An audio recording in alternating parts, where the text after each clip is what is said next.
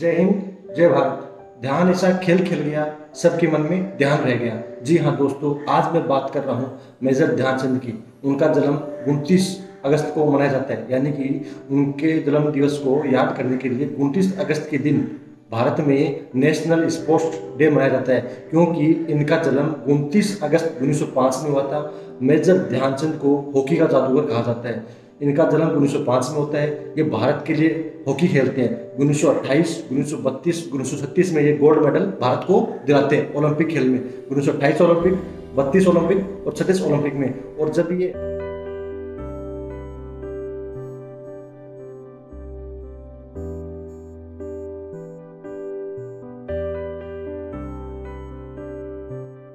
Germany के खिलाफ एक बार खेल रहे थे, उस समय जर्मनी के चांसलर जो कि हिटलर थे, तानाशाही थे, उन्होंने इनको कहा था, आप हमारी टीम की तरफ़ से खेलिए। तो इन्होंने उनको कहा था, मैं भारत में जन्मा हूँ, भारत की मिट्टी में खेला हूँ और मैं मरते दम तक भारत के लिए खेलूँगा। और दोस्तों, जो मेजर ध्यानचंद है, इनका जन्म उन्नीस सौ पाँच में हुआ, उनतीस तारीख के दिन। और अभी वर्तमान में क्या है, भारत में खेलों का सबसे बड़ा जो पुरस्कार होता है, उसका नाम है मेजर ध्यानचंद पुरस्कार। क्योंकि ये जो मोदी सरकार है उन्होंने पहले राजीव गांधी खेल रत्न पुरस्कार हुआ करता था, जिसकी शुरुआत 1991-92 में राजीव गांधी खेल रत्न पुरस्कार की शुरुआत होती है। उन्हीं के नाम को चेंज करके मोदी सरकार ने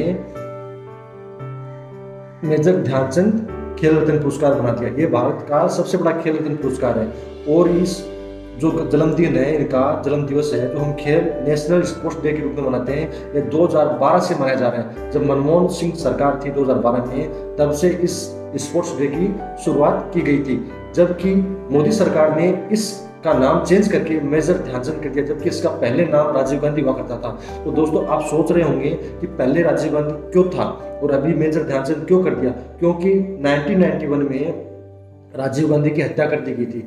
उसी समय P V Narasimha Rao prime minister थे उनकी सरकार थी। उन्होंने उनको याद रख, रखने के लिए राजीव गांधी को तो एक खेल जो पुरस्कार है इसकी शुरुआत की और उसका नाम रखा राजीव गांधी खेल रत्न पुरस्कार। इस पुरस्कार में पहले साढ़े सात लाख रुपया प्रति खिलाड़ी मिलता था। अभी वर्तमान में इसकी राशि को बढ़ाकर पच्चीस लाख रुपया पर महीना कर दिया। यह सबसे पहले 1991-92 में शतरंज के खिलाड़ी विश्वनाथ आनंद को दिया गया था और 1998 में सबसे पहले क्रिकेटर सचिन तेंदुलकर को दिया गया था।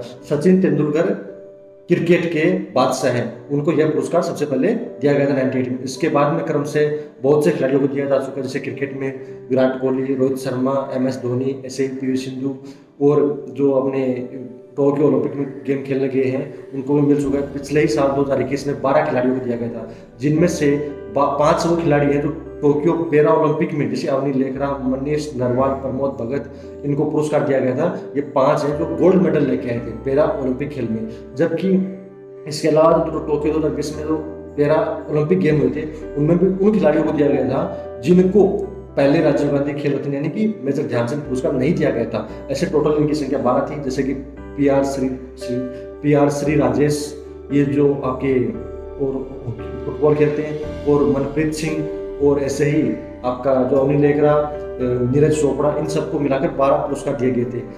तो मतलब ओलंपिक और पैरा ओलंपिक को मिलाकर बारह पुरस्कार दिए गए थे। इनमें से दो वो खिलाड़ी हैं, जैसे कि मिताली राज क्रिकेट से, और एक और आपका खिलाड़ी था, उनको ये पुरस्कार दिए गए थे, जबकि बाकी जो थे, उनको ओलंपिक में जो मेडल लेके आए थे, उनको दिया गया था। और दोस्तों, जो ये बात कर रहे हैं हम 1991 92 में, इस शतरंज के जो खिलाड़ी थे, विश्वनाथ आनंद को यह पुरस्कार सबसे पहले दिया गया था।